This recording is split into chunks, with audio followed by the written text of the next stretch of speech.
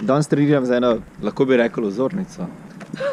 Kva? Je stara, ti si tako like 40 kg izgubila. lani. Drugač 20, ampak Ja, thanks. z leti sem Budala. zamenšal, sorry.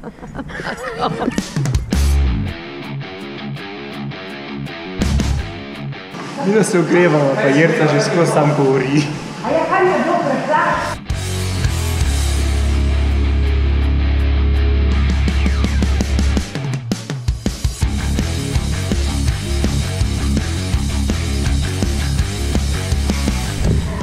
To sicer je ful, lušna vaja, ful lepo zgleda, tudi je zabavna. Sam je. Zašvicaš se ful, a?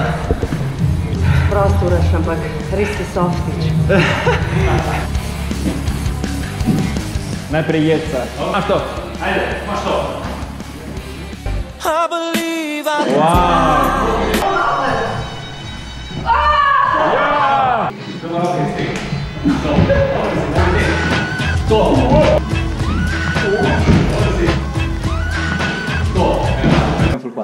Jedikaj, lepoč. Hvala tebi. Moram ti povedati, da si se ful dobro držal, pa da imaš ful še kondicije, tudi če praviš, da, da zdaj le ful dolg časa nisi treniral, da besti. Bomo videli. O, boge, boge.